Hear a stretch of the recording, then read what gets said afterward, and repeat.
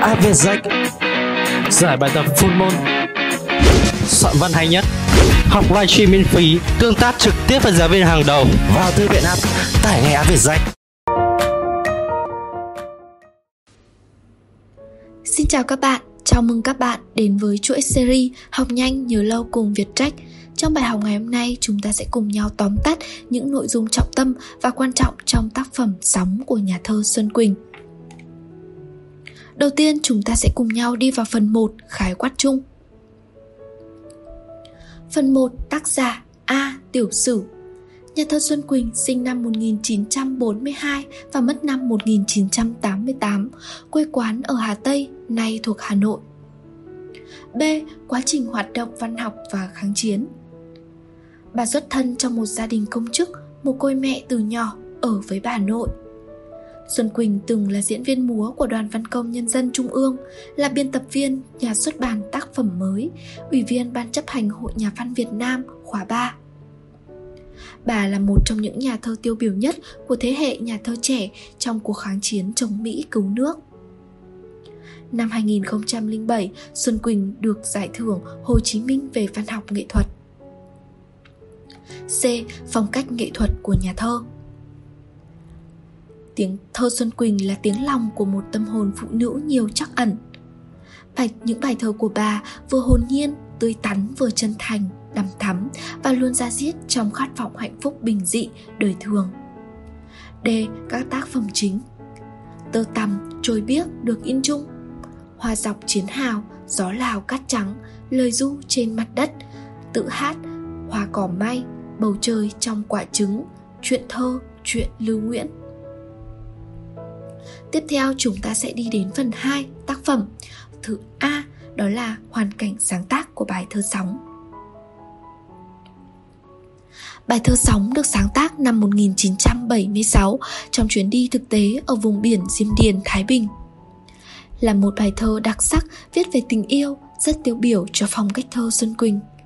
Bài thơ được in trong tập thơ hòa dọc chiến hào Bố cục của bài thơ gồm 4 phần Hai khổ đầu là nhận thức về tình yêu qua hình tượng sóng.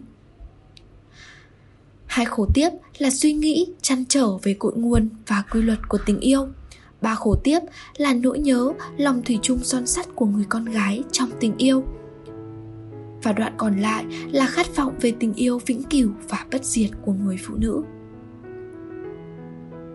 Tiếp theo, đó là phần C, phương thức biểu đạt. Phương thức biểu đạt chính của bài thơ sóng đó là phương thức biểu cảm. Bài thơ được viết theo thể thơ 5 chữ. Ý nghĩa của nhan đề sóng.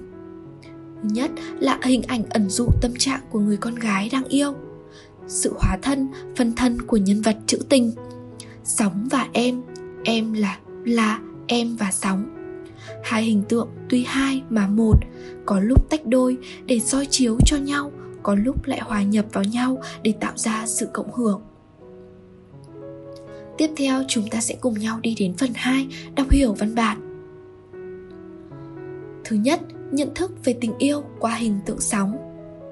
Đối lập, dữ dội và dịu êm, ồn ào và lặng lẽ. Các cung bậc, sắc thái khác nhau của sóng như như cung bậc tình cảm phong phú, đối cực phức tạp của người phụ nữ khi yêu ẩn dụ nhân hóa sông không hiểu nổi mình sóng tìm ra tận bể đây là những câu văn sử dụng phép tu từ ẩn dụ và nhân hóa. Khát vọng vươn ra xa thoát khỏi chật trội nhỏ hẹp tầm thường thể hiện một quan niệm mới về tình yêu là yêu là tự nhận thức vươn tới cái rộng lớn và cao xa. So sánh liên tưởng ôi con sóng ngày xưa bồi hồi trong ngực trẻ. Đã khẳng định một khát vọng tình yêu cháy bỏng, mãnh liệt luôn thường trực trong trái tim và tuổi trẻ. Hai, những suy nghĩ chăn trở về cội nguồn của quy luật tình yêu.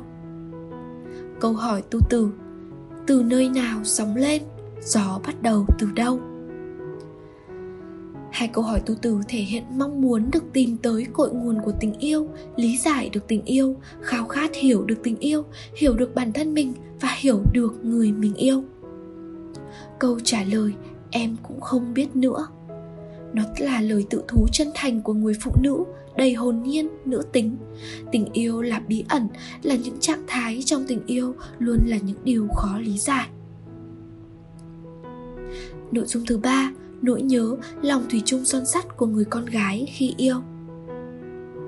Nỗi nhớ là tình cảm chủ đạo, luôn thường trực trong trái tim của những người đang yêu. Nỗi nhớ bao trùm cả không gian, thời gian, dưới lòng sâu, trên mặt nước ngày đêm không ngủ được, nỗi nhớ da diết và sâu đậm vô cùng. Tồn tại trong ý thức và đi ca vào cả tiềm thức. Lòng em nhớ đến anh, cả trong mơ còn thức. Đây là cách nói cường điệu, nhưng nhưng hết sức hợp, nhằm tô đậm nỗi nhớ mãnh liệt của tác giả. Nghệ thuật nhân hóa hóa thân vào sóng, để em tự bộc lộ nỗi nhớ ra diết, cháy bỏng của mình. Lòng thủy chung, son sắt của người con gái trong tình yêu. Em, phương bắc, phương nam, hướng về anh một phương. Đây là lời thề thủy chung son sắt tuyệt đối. Sóng ngoài đại dương, con nào chẳng tới bờ là quy luật tất yếu. Lòng thủy chung là sức mạnh để đến được với tình yêu, vượt qua mọi khó khăn thử thách để tới với bến bờ của hạnh phúc ta thấy được lời khẳng định cho cái tôi của con người luôn vững tin ở tình yêu 4. Đó là khát vọng về tình yêu vĩnh cửu và bất diệt Nhạy cảm và âu lo về cuộc đời trước sự chảy trôi của thời gian Cuộc đời tuy dài thế, mây vẫn bay về xa Băn khoăn khắc khoải, làm sao? Ao ước được hóa thân thành trăm con sóng nhỏ để muôn đời vỗ mãi vào bờ khao khát của người phụ nữ khi được hòa mình vào cuộc đời, được sống trong biển lớn tình yêu, với tình yêu trường cửu bất diệt với thời gian. Cuối cùng, chúng ta sẽ đi vào nội dung thứ ba, đó là tổng kết lại những ý chính về nghệ thuật và nội dung. Các ý chính về nội dung. Bài thơ là sự cảm nhận về tình yêu từ hình tượng sóng với tất cả những sắc thái và cung bậc. Bài thơ đã thể hiện khát vọng, vĩnh cửu hóa tình yêu của một tâm hồn phụ nữ luôn chân thành, khao khát hạnh phúc. Giá trị nghệ thuật, hình tượng sóng đôi, thể thể thơ năm chữ kết hợp với cách ngắt nhịp linh hoạt. Ngôn ngữ gần gũi, trong sáng, dung dị và tinh tế như vậy, vừa rồi cô đã hướng dẫn các bạn tìm hiểu những nội dung chính, trọng tâm và quan trọng trong bài thơ sóng của nhà thơ Xuân Quỳnh. Cảm ơn các bạn, hẹn gặp lại các bạn trong những bài giảng tiếp theo của cô. Khóa học về rách Sự lựa chọn của hàng triệu phụ huynh và học sinh Trải nghiệm ngay khóa học về rách